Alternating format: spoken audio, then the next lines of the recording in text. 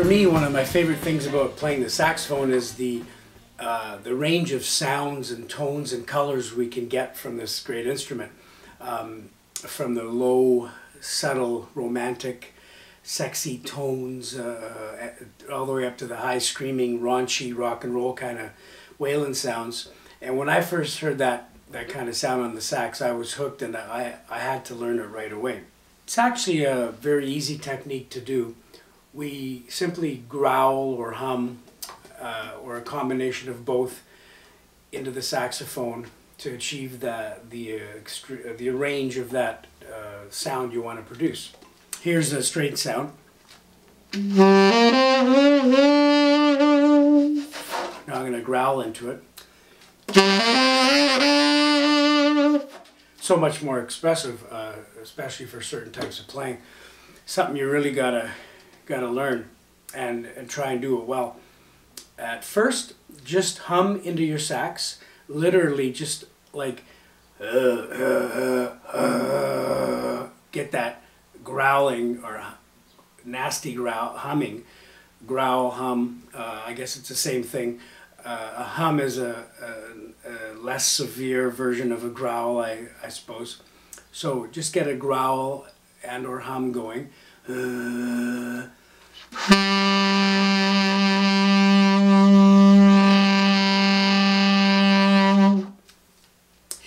I can actually hear it in the back of my throat. I can hear it resonate in my head. I can hear my throat growling, just like you can hear that in my tone.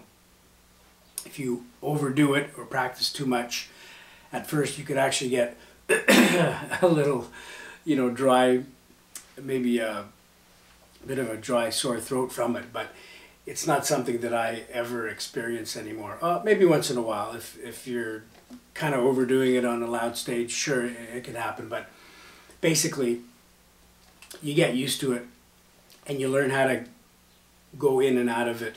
Um, so you're not always fully, you know, pedal to the metal with it either. So basically, just growl into your horn uh, as loud as as nasty as you want it to sound, from just a little bit to a lot.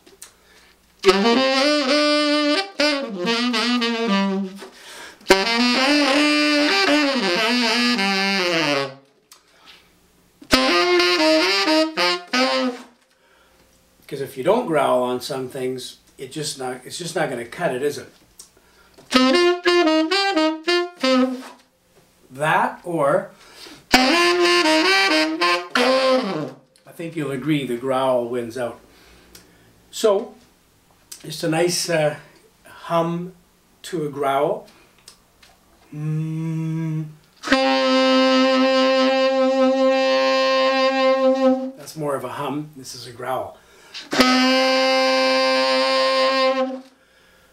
So I think a hum would be a, a slighter variation of the, the dirty the dirty tone, and a growl would be the extreme variation on that dirty rock and roll kind of sound.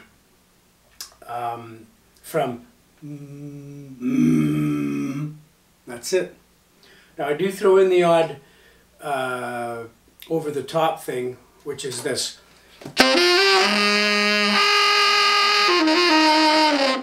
And that's the rolling of the tongue. You can add that on a growl to make it like that, that dirty.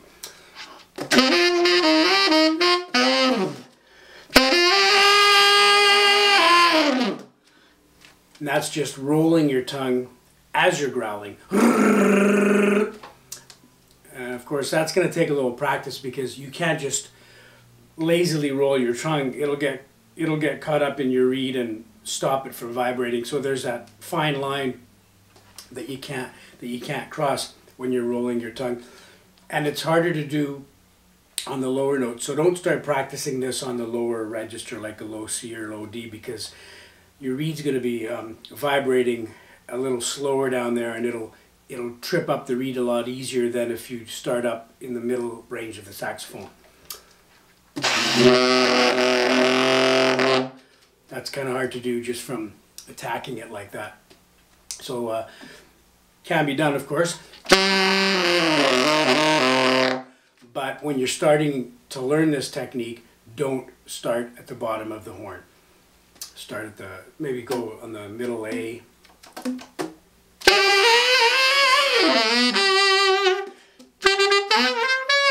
Thank you.